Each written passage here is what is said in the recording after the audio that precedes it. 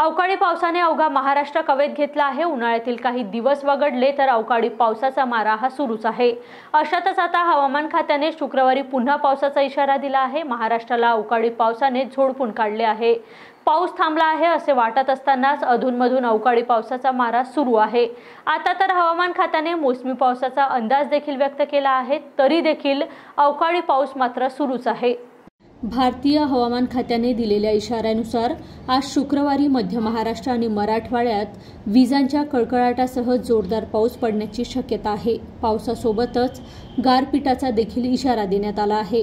विदर्भात देखील हवामान खात्याने विजांच्या कडकडाटासह आणि वादळी वाऱ्यासह जोरदार पावसाची शक्यता वर्तवली आहे. विदर्भाच्या काही भागात देखील गारपीट होण्याची शक्यता आहे. फक्त पाऊसच नाही तर पावसासोबत वादळी वाऱ्याचा देखील इशारा देण्यात आला आहे. ताशी चाळीस ते पन्नासच्या वेगाने वारे वाहतील असा हवामान खात्याचा अंदाज आहे.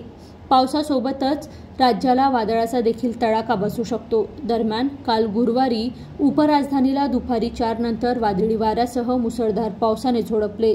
ताशी तीस ते चाळीसच्या वेगाने वारे वाहत होते. सुमारे तासभर झालेल्या पावसाने शहरात अनेक ठिकाणी झाडे कोसळली तर काही ठिकाणी दिशादर्शक फलके पडली.